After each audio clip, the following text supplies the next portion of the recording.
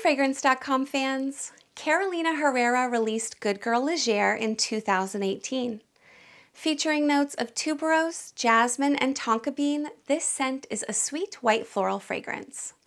Good Girl Legere is playful and addictive.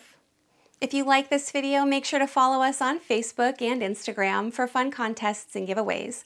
And don't forget to subscribe to our YouTube channel. I'm Emmy, thanks for watching.